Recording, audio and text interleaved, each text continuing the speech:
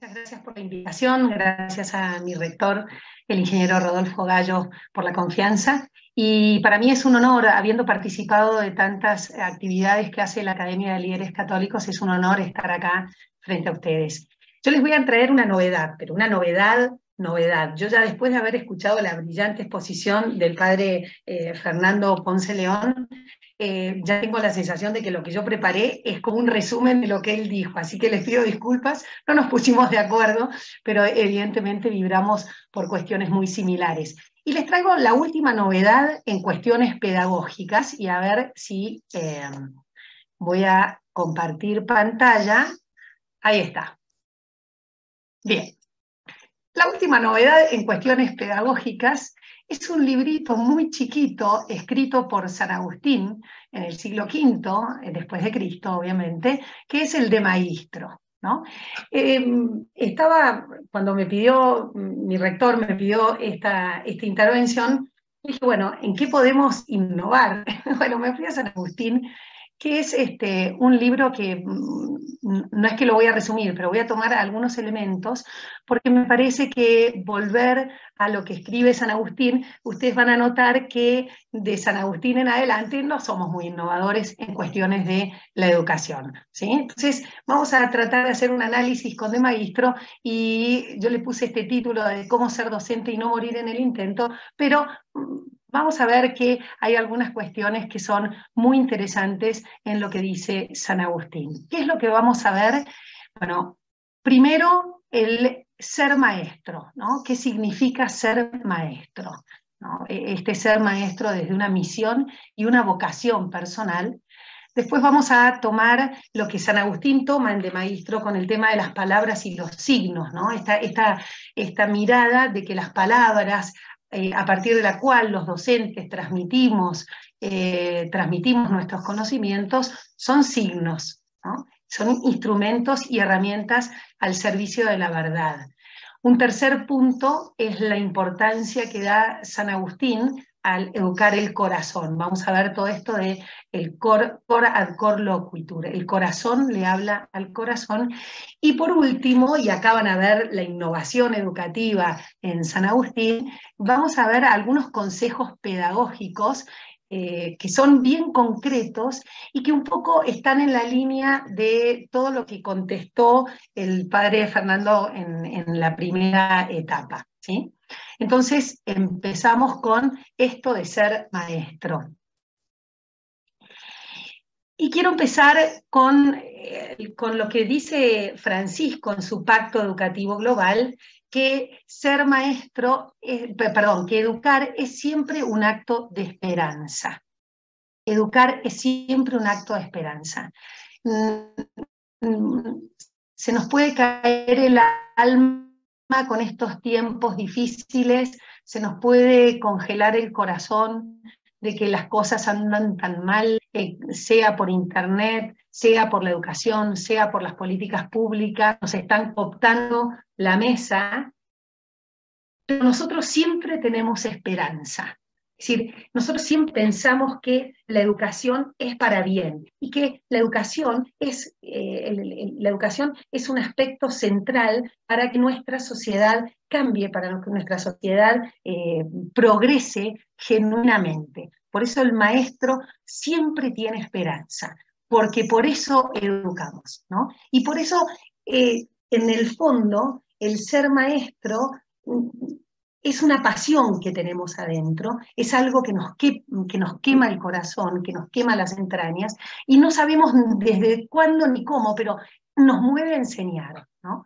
Es acá, los que estamos acá, que nos interesa la educación, y nos interesa la educación católica por este elemento, entendemos, nuevo que trae Cristo a la humanidad, implica valorar elementos claves, ¿no? Y yo puse algunos elementos que son claves, ¿no? La necesidad de aprender que tenemos, no solamente de enseñar, esto de admirar lo creado y por eso nos emociona poder transmitirlo, y esto de dejarse enseñar por el otro. Y así como San Pablo decía, no podemos, no puedo no predicar el evangelio, de la misma manera nosotros no podemos no transmitir lo que hemos aprendido cada uno en su respectiva ciencia.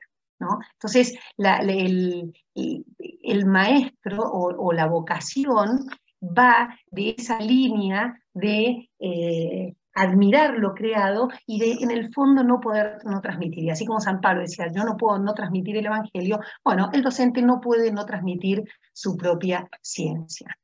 Entonces, vamos a eh, acá a, tratar de, profundizar un poco y vamos a, Sócrates, ¿no? Miren lo que decía, porque después esto nosotros lo vamos a, transmitir, eh, lo vamos a incorporar a la lectura que hace San Agustín de esto. Y dice eh, Platón por boca de Sócrates, ¿no? Pero los que me frecuentan al principio parecen ignorantes, pero después, como asistidos por el Dios, obtienen un provecho admirablemente grande, tal como les aparece a ellos mismos y a los demás. Y sin embargo, es evidente que nada han aprendido nunca de mí, sino que ellos han encontrado por sí mismos muchas y bellas cosas que ya poseían. Y esto es como la, piedra estructural de la mirada pedagógica de San Agustín, que lo toma de Platón, ¿no? Pero vamos a volver a esto. Lo que a mí me interesa es esto último, y sin embargo es evidente que nada han aprendido de mí, sino que ellos han encontrado por sí mismos muchas y bellas cosas que ya poseían. Una eh, docencia fecunda requiere ante todo que quien señale vea, que quien señale vea. ¿no? Eh, esto de progresar en la pericia didáctica es avanzar en el dominio del propio saber. penetrar cada vez más hondo en el sentido de lo conocido. Y por eso Giovanni Gentile decía que el secreto de la elocuencia está en la palabra llena de alma llena de alma. El maestro es el que tiene esa palabra llena de alma.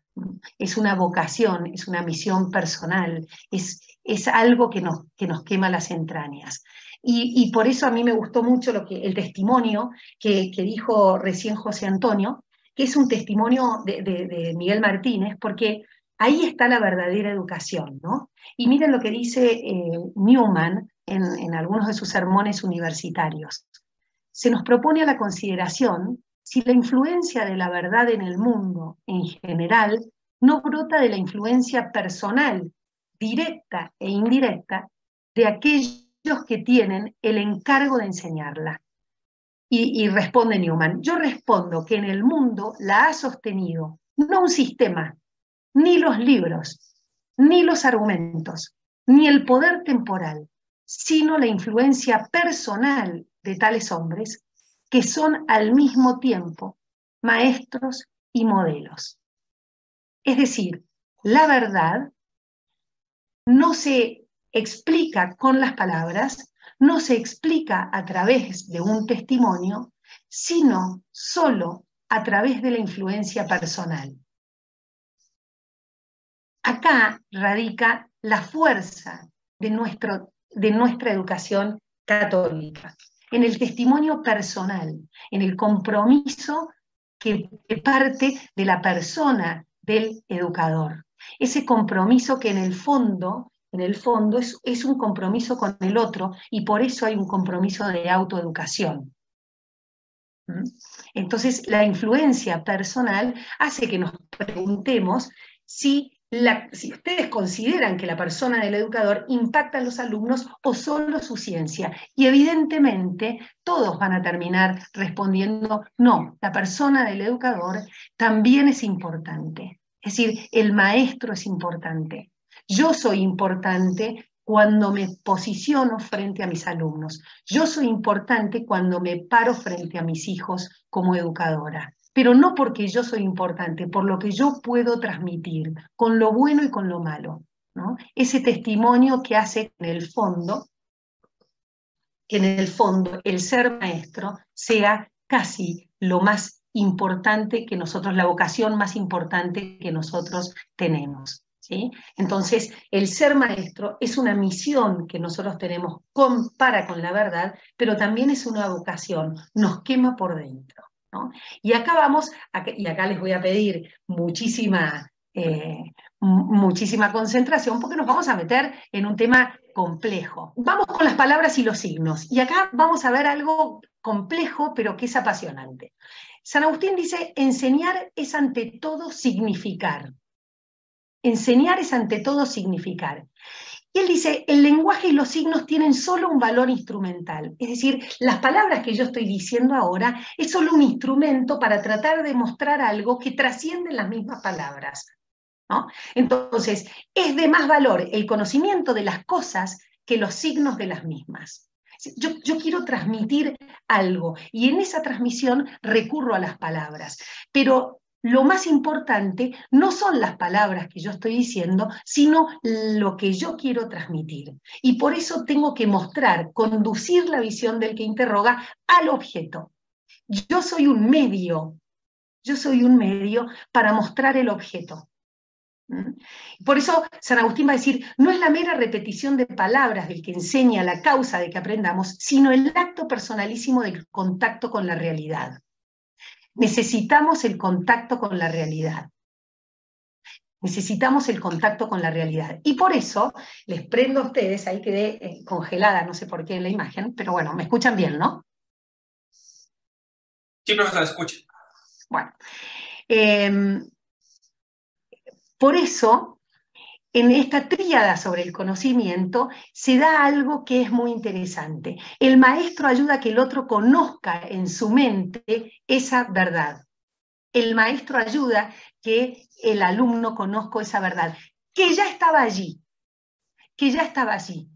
Entonces, yo puedo ver esa flor pienso, elaboro en el concepto la flor, elaboro en mi mente el concepto flor, y cuando la nombro, ya en ese nombrar esa flor, ya hay un intermediario. Y significa eso que el conocimiento, el conocimiento de esa flor, si yo quiero transmitir que lo que estoy viendo es una flor, el conocimiento no lo tengo yo, el conocimiento tampoco está en las palabras, para que se conozca la flor, tengo que entrar en la mente de aquel que está enfrente mío. Es difícil, ¿verdad? Vamos a ver si lo podemos hacer un poco más fácil con el ejemplo que pone San Agustín. San Agustín dice en el capítulo, en el libro 11, el capítulo 3 de las confesiones, algo que es, que es conmovedor, ¿no? Entonces él dice, si yo lo interrogara a Moisés en el momento en que Moisés dice que el Señor creó el cielo y la tierra, acá se los pongo, como, como en el principio hiciste el cielo y la tierra, San Agustín dice, yo le preguntaría a Moisés, pero ¿de dónde sabría si decía la verdad, si Moisés decía la verdad? ¿No? Pues si también supiera yo esto, ¿verdad que no lo sabría por él?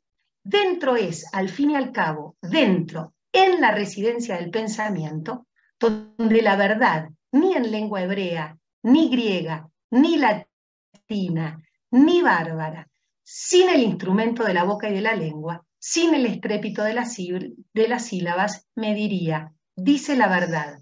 Y yo sinceramente, al momento diría con seguridad a ese ser humano tuyo, dices la verdad. Así pues, ya que no tengo la, la posibilidad de preguntarle, a ti te ruego, lleno del cual dijo aquel la verdad, oh verdad, a ti te ruego, Dios mío, perdona mis pecados, y ya que concediste esto a aquel siervo tuyo, concédeme también a mí entenderlo. ¿Qué significa esto? ¿Qué es lo que está diciendo acá San Agustín? Que por más que yo diga la verdad, si el que está enfrente mío no la ve adentro suyo, no la ve adentro suyo, no puede captar esa verdad. ¿Y por qué? ¿De dónde saca San Agustín esto? De que Dios está más adentro mío que mi propio yo. Y por eso la verdad está dentro, está dentro mío. Y yo hay veces en que no puedo ver esa verdad. Yo necesito que me la muestren, pero esa verdad no está fuera, esa verdad está dentro mío, porque Dios está dentro mío y Dios me comunica a través de la verdad. Por eso hay veces en que estamos capacitados para entender la verdad y hay veces que no estamos capacitados para ver la verdad. Por eso esta maravilla de lo que decía el padre eh, Fernando al principio, que una cosa son los hechos objetivos y otra cosa y otra cosa son las opiniones que tenemos sobre los hechos. Y estos hechos objetivos necesitan de una elaboración interior. Y esa elaboración interior es muy personal, porque Dios nos habla al interior de cada uno en esos hechos que son objetivos. Pero esos hechos que son objetivos tienen una, resonancia muy particular y tienen una resonancia subjetiva porque cada uno tiene esa manera propia de ver y de valorar, y de valorar esos hechos subjetivos. Por eso el maestro es aquella persona que es como un gran facilitador de esa verdad que está adentro del docente. Es solamente un facilitador es solamente un, facilitador. Y ahí está la maravilla entre lo que es enseñar y lo que es aprender. Entonces, acá lo tenemos a San Agustín, esta maravilla de e, enseñar y aprender, ¿no? ¿Qué es lo que uno enseña y qué es lo que uno aprende? Y es un ida y vuelta permanente entre maestro y alumno, entre educador y alumno, entre padres e hijos. Uno enseña, pero uno aprende en la medida que enseña. Por eso la mejor manera de aprender es enseñar, dicen por ahí. ¿Y qué es lo que uno enseña? Y uno trata de enseñar el conocimiento de las cosas. Y ese conocimiento de las cosas es transmitida por la persona del educador. Pero eso requiere varias cuestiones muy importantes según San Agustín. Primero, la repetición memorística nunca enseña demasiado bien. ¿Mm? La fuerza y la violencia nunca enseña. Yo no puedo enseñar nada con la violencia. No puedo obligar, ¿sí? No puedo obligar a que el otro enseñe, eh, a que el otro aprenda valores morales que yo sé que son buenos. Eso yo lo transmito y lo transmito desde las entrañas. ¿sí? Es decir, eh, los valores, lo que uno valora, eh, tienen su brillo propio, porque la verdad tiene su brillo propio. Acuérdense en San Agustín lo que él sostiene el conocimiento, que es iluminación. ¿no? La verdad es iluminada por ese Dios que es la verdad.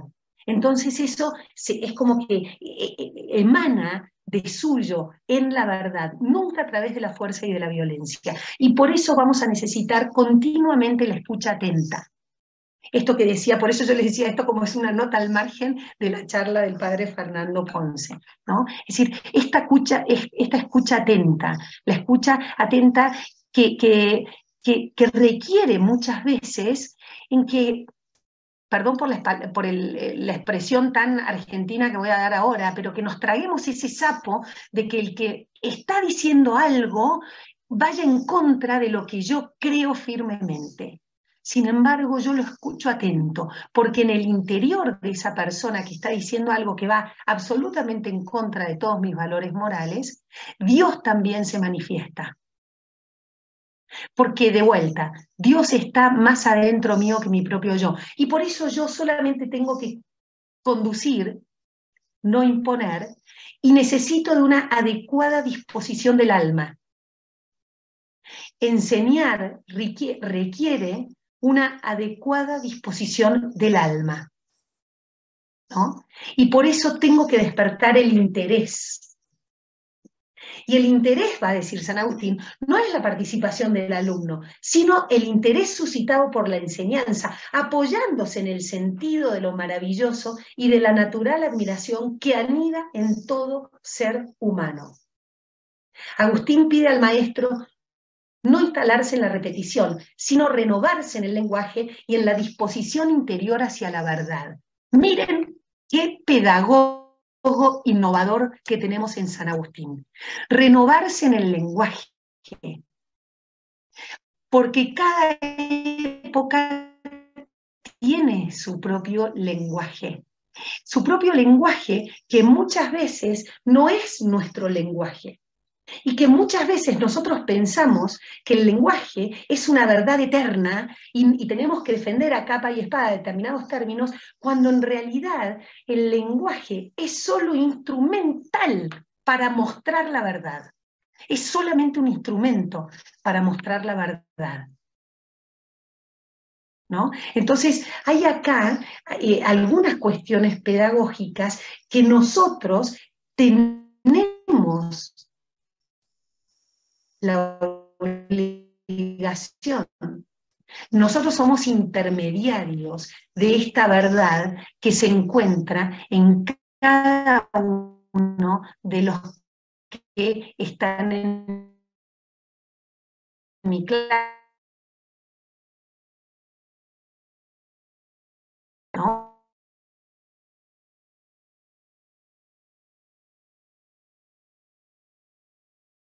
Creo que hemos perdido por un instante a la profesora Cecilia. Histología, sí. Sí, la perdimos, un lapso de, de banda ah. ancha. El último 30 segundos, te lo puedo repetir, lo último, que hubo un, hay un corte. Bien, ahí, ahí me escuchan bien. Sí, sí, escuchan. ¿Sí? por, por, temas técnicos no prendamos la cámara porque le corta el ancho de banda. Entonces le, la pone más en voz robótica, entonces mejor para que no tenga problemas que nos prenda la cámara de aquí hasta el final. Bien, bueno, perfecto. Eh, el conocimiento es, es conocimiento compartido. Yo les decía, en el verano me agarró por la cristología y empecé a leer algunos manuales de cristología, ¿no? Y eh, uno, de, uno de esos manuales de una, una autora, mujer, eh, de Cristología, Elizabeth Johnson, habla de que la, interpretación que nosotros tenemos de Cristo va cambiando a lo largo de los siglos, ¿no? Y que es muy importante la Cristología que se hizo, por ejemplo, en los distintos concilios, en el concilio de Calcedonia, donde se habla de la unión hipostática y bueno, un montón de cuestiones, pero muchas veces nos hemos quedado con las resoluciones conciliares y no hemos sabido discutir y, volver a traer a la época lo que implica, por ejemplo, que Cristo tenga dos naturalezas, humana y divina. Entonces, muchas veces nos quedamos en la, eh, en la comodidad de decir, bueno, ya está todo dicho de Cristo. Y en el fondo, cada época tiene algo nuevo que decir sobre Cristo. Y allí está la maravilla de Cristo. Y allí está la humanidad de Cristo que nos enseña a nosotros a ser más humanos en nuestras épocas. Y por eso siempre es bueno dialogar, debatir, discutir, incluso de aquellas verdades que nosotros pensamos que son absolutas, que puede ser que sean absolutas, pero que necesitan necesitan ser tamizadas por la época para que podamos sacarle un brillo nuevo, un brillo que ilumine a esta época que notamos, de acuerdo a como nos mostraron en la primera parte de la mañana, que notamos que cada vez se alejan más de aquellas verdades que nosotros pensábamos que nadie se podía alejar porque eran lo suficientemente bellas. Entonces, en, esta, en, esta, pedagogía de San Agustín, nosotros vemos que el, lenguaje son signos, el lenguaje, todo el lenguaje es un instrumento para sacarle ese eh, mayor brillo a esa verdad que está iluminada en cada época de manera diferente. Por eso Cristo siempre nos dice algo nuevo y nos dice algo nuevo a los hombres de hoy, que caminamos en esta, que, peregrinamos en esta vida, que es una vida corta, que es una vida terrena, que es una vida epocal, pero que Cristo la ilumina siempre de manera nueva, si es que tenemos el coraje de debatir y de discutir con nuestra época si es que tenemos ese coraje. Y por eso las palabras y los signos son tan importantes. Y acá hay algo que también es, eh, es importante, que es la educación del corazón. Un maestro es quien habla al corazón, porque el corazón le habla a otro corazón. Y por eso es tan fácil. Fíjense, en, el fondo, lo que decía de vuelta el padre Fernando, ¿no? el enseñar a vivir. Solo el contacto con un corazón humano puede ser la ventana para abrirse a la comprensión y la valoración del universo. Un corazón viviente y lúcido, decidido a seguir una visión, pero además dispuesto a rectificarla todo el tiempo de acuerdo a la medida de las cosas. ¿Cuántas veces en los últimos años no hemos tenido que rectificar nuestras miradas? Yo como docente, y sobre todo de filosofía, me he visto con la obligación de cambiar de lenguaje, porque mi lenguaje no es tolerado por las nuevas generaciones, porque mi mirada también la tuve que rectificar, porque yo tengo que rectificar, calibrar mi mirada y mis razonamientos de acuerdo a la medida de las cosas, de acuerdo a la medida de esa verdad que tiene todo el tiempo, el transcurso eh, temporal, tiene eh, reflejos diferentes. Tiene reflejos diferentes. Y acá, la más alta relación que conoce la historia de la educación humana es aquella que existe entre el maestro y el discípulo. Es la más alta relación que conoce la historia de la educación humana, la relación entre el maestro y el discípulo. Si a nosotros nos agobia, nos, nos acongoja la situación de las ideologías que están irrumpiendo por todos lados, de la única manera que yo voy a hacer frente a esto que estamos viviendo es a través de los vínculos de persona a persona es a través de la educación personal. Por eso les tengo que ser sincera, a mí no me preocupan tanto las ideologías, sino que lo que me preocupa es que yo no sea capaz, que yo no sea capaz de asumir el contacto personal de lo que implica la educación. ¿Se escucha bien? Se, le escucha perfecto, profesora.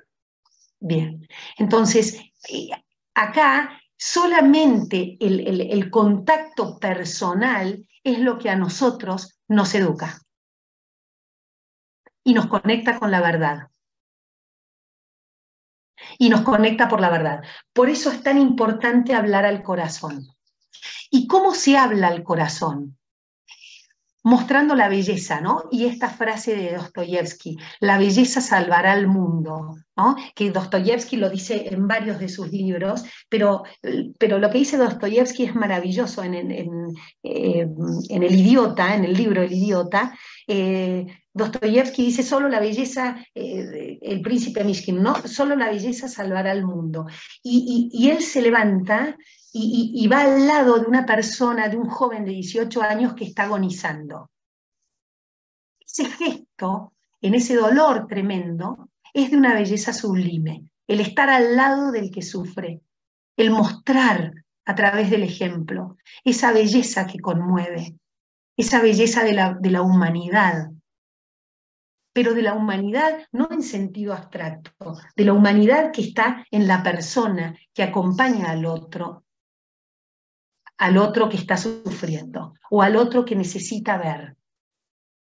Cuando en medio de la multitud de maestros adormecidos se levanta un corazón esperanzado que ve, que siente y se inclina reverencialmente al otro, el efecto es inmediato. Allí surge la verdadera educación.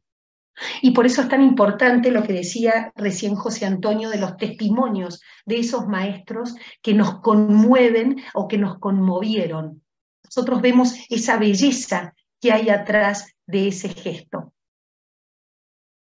¿no? Y esa belleza que se desprende del orden de lo creado, de las ciencias particulares, de la mano del hombre que es capaz de generar una belleza sublime para que el alma ascienda a Dios, su fuente y origen.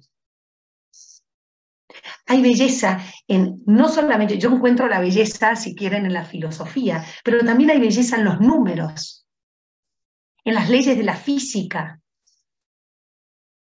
en la inteligencia artificial, que muchas veces nos da la sensación de agobio, de que las máquinas nos van a ganar, pero el único remedio para que las máquinas no nos ganen es hablarle al corazón del ser humano.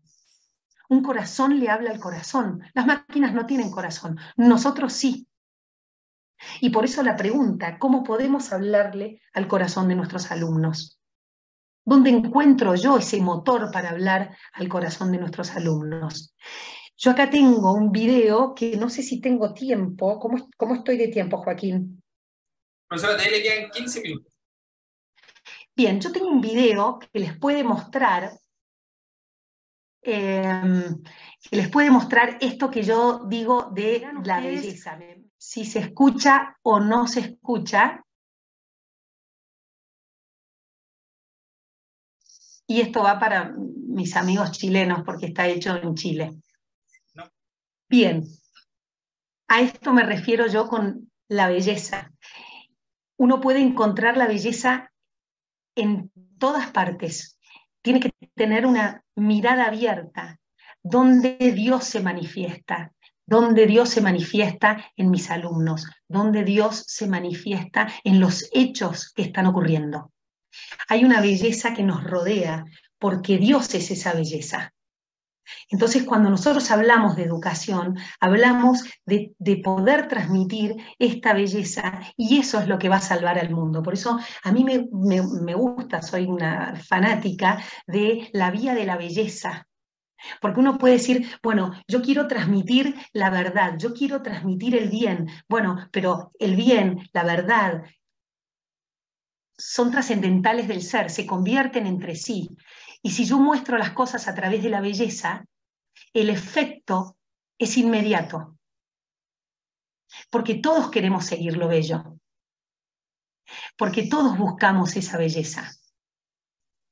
Entonces, cuando hablamos del poder transmitir aquellas verdades que nos conmueven, elegir la vida de la belleza va a generar una acción ética desde el otro lado. Entonces, cuando uno dice hablar al corazón, significa eso, educar el corazón, es educar el corazón para esa belleza, que puede ser que el otro no piense lo mismo que yo, pero yo le transmito con belleza aquello que yo entiendo que es verdadero. Vamos a ir al cuarto punto que yo les dije, que son los consejos pedagógicos, y acá vamos a ver que cuando yo les dije que les mostraba lo último en pedagogía, no les, no les mentía, a pesar de que estamos en el siglo V, cuarto, perdón, cuarto eh, después de Cristo. ¿no?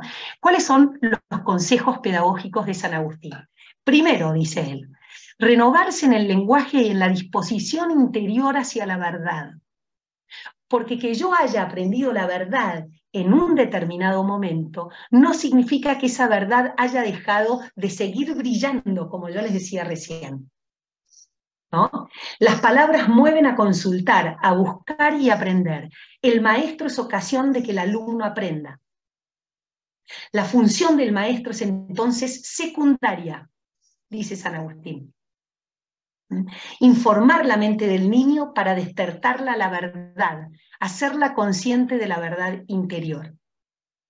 La función mía es secundaria. Yo soy solo un instrumento. ¿No es una belleza tremenda? Es solo secundaria. Segundo consejo pedagógico, fomentar el diálogo. Esto que hablábamos recién, ¿no? La opinión del alumno, dice, debe ser superada eh, con cariñosa exhortación. Hay que preguntarle si entendió dando confianza porque el diálogo permite alumbrar la verdad en el ánimo, permite el discernimiento y la apropiación de las palabras o acciones del maestro. La apropiación.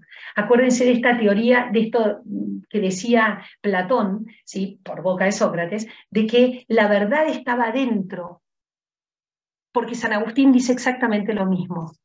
El diálogo permite alumbrar la verdad en el ánimo permite el discernimiento y la apropiación de las palabras o acciones del maestro. Entonces, si no fomentamos el diálogo, en aquellas cosas, inclusive que nosotros creemos que son eternas e innegociables, eso, esa verdad no cala en el ánimo de la persona. No cala en el ánimo. en el alma, porque nosotros nos tenemos que apropiar de esa verdad para entenderla. La alegría, acá está otro de los consejos, suscita en el maestro y el alumno las mejores disposiciones mentales y personales para que sea la enseñanza lo más agradable y eficaz posible. Si la doctrina es buena, dice San Agustín, no puede no decirse con alegría. La indiferencia, el disgusto, la tristeza y la preocupación pueden enturbiar la enseñanza. La solución a esas emociones negativas está en Dios y encontrar alegría en Él, porque Dios es la fuente de la alegría. Entonces la alegría es propio de un educador, pero debería ser propísimo de un educador católico. La alegría, pese a las dificultades, pese a los nubarrones que nosotros vemos en el horizonte. La alegría. La sencillez. ¿Cómo cultivamos la sencillez? Para que si, miren lo que dice porque es fantástico, para que sintonice con el alumno, ha de hacerse niño con los niños. Acá hay una innovación pedagógica. Admirarse de las cosas como si fueran nuevas. De esta manera el alumno ayuda a redescubrir la verdad al maestro. El maestro es ocasión de que el niño aprenda y que el que aprende por sí mismo aprenda. La sencillez del niño, ver la realidad, no repetir todos los años la misma clase, sino ver aquellas cosas con las novedades que me trajo el último año. Ver con los mismos ojos con los que ven mis alumnos. La sencillez la sencillez de corazón, la sencillez intelectual y sobre todo la humildad. ¿Por qué la humildad? Porque nosotros somos instrumentos. El maestro debe ser humilde porque, dice San Agustín, por dos motivos. Primero, solo es ocasión del aprendizaje del alumno que aprende por sí mismo. El alumno está aprendiendo por sí mismo. Yo soy ocasión de aprendizaje. Por lo tanto, no puedo ser soberbio. Y el segundo, la segunda razón por la cual tenemos que ser humildes, es la dedicación, así como la entrega al alumno, son una dedicación y entrega a la verdad que está por encima de maestros y alumnos, que nos trasciende. Por lo tanto, no podemos sino ser humildes en esta nuestra labor docente no podemos sino ser humildes. Renovarse en el lenguaje, fomentar el diálogo, la alegría, la sencillez y la humildad son los consejos que da San Agustín para ser maestro. ¿No? Y acá una, una, frase, cuando se trata de lo que captamos con la mente, es decir, con el entendimiento y la razón, hablamos lo que vemos presente en la luz interior de la verdad, con que está iluminado y de que goza el llamado hombre interior. Pero, pero entonces, también el que nos oye, si él mismo ve con una mirada simple y secreta esas cosas, conoce lo que yo digo en virtud de su contemplación, no por mis palabras. Lo dejo así como para que cada uno vaya contemplando esta frase conoce lo que yo digo en virtud de su contemplación, no por mis palabras. No por mis palabras. Acá hay una fuerza que nos impacta y que nos conmueve. Yo solo transmito aquella verdad. Y dice San Agustín, ¿acaso pretenden los maestros que se conozcan y retengan sus pensamientos y no las materias que piensan enseñar cuando hablan? Porque ¿quién hay tan neciamente curioso que envía a su hijo a la escuela para que aprenda qué piensa el maestro? Una vez que los maestros han explicado las disciplinas que profesan enseñar, las leyes de la virtud y de la sabiduría, entonces los discípulos juzgan en sí mismos si han dicho cosas verdaderas, examinando según sus fuerzas aquella verdad interior. Entonces es cuando aprenden. Entonces, y solo entonces, es cuando aprenden. Y esto lo quiero relacionar con el Pacto Educativo Global. Perdón por lo casero del punteo. Este punteo es una foto que yo saqué em, de la pizarra que está en mi oficina en la universidad y que lo quise poner ahí para que todo el que entre sepa de qué se trata lo que nosotros queremos hacer. Y me ayuda este pacto y puse los siete puntos del Pacto Educativo Global. Fíjense, poner a la persona en el centro. Allí está lo más importante de la educación. Escuchar a las jóvenes generaciones. Las jóvenes generaciones pueden pensar distinto de como pienso yo, pero me están diciendo algo del querer de Dios. Yo estoy obligada a escucharlas porque si no las escucho me quedo encerrado en mi propio pensamiento y no salgo al encuentro de lo que Dios quiere mostrarme en el tiempo. Escuchar a las jóvenes generaciones, promover a la mujer. Sabemos la importancia de las mujeres y de la importancia de los feminismos la importancia de los feminismos, no feminismos radicalizados, sino de los feminismos que quieren la igualdad, promover a la mujer en lo bueno que tienen, responsabilizar a la familia. La familia, tenemos que poner a la familia en el centro, tenemos que hablar de perspectiva de familia. Abrirse a la acogida, al que piensa diferente, al que está enfrente, en la vereda de enfrente. Abrirse, Inclusive los que piensan diferente como yo tienen algo para decir y me pueden ampliar mi horizonte. Renovar la economía y la política y cuidar la casa común. Estos son los pasos del pacto educativo global, lo que nosotros tenemos que poner en el centro. Y fíjense si todo esto no se relaciona con lo que acabamos de decir. Muchas gracias, disculpen por la, este, por la mala conexión, espero que si yo dejo de compartir, ahí está, y ahora prendo la cámara, si estoy para las preguntas.